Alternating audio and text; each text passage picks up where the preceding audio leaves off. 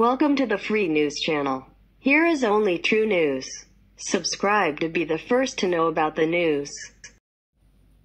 European Commission President Ursula von der Leyen, EU High Representative Josep Borrell and Slovak Prime Minister Eduard Gega drove away Bucha, where hundreds of civilians were tortured and killed.